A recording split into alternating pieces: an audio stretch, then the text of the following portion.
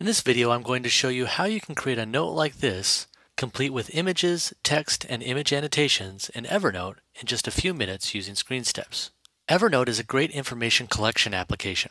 For those of you who aren't familiar with Evernote, it lets you gather notes, images, and web clippings into a centralized location. That content is then synchronized with their servers and available to you on any Mac or PC, as well as many mobile devices such as the iPhone. One of the ways that I like to use Evernote is to collect things that I will need to remember later on. Basically, if I have learned how to accomplish some task once, I don't want to have to learn how to do it again.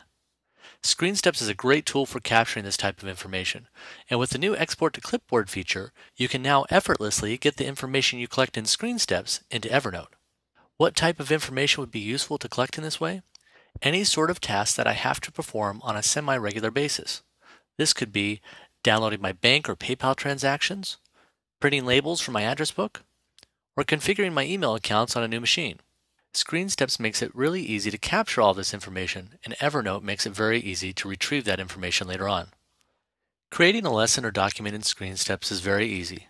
Just click New Lesson, give it a title, open the Capture palette, switch to the application where you want to get your screen captures, capture away. ScreenSteps assembles the images you capture into a document in the background.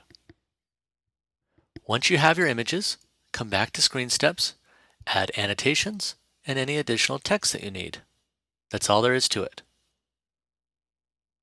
I can now export this lesson out to the system clipboard as HTML.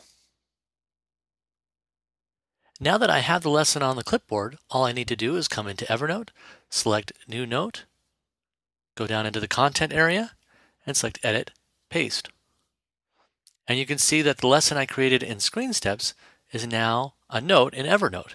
I'll give it a title here.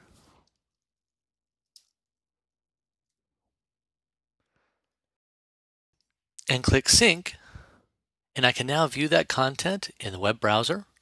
I can view it on my mobile device, such as my iPhone or an Android device, a PC, or search for it later on in the Evernote desktop application.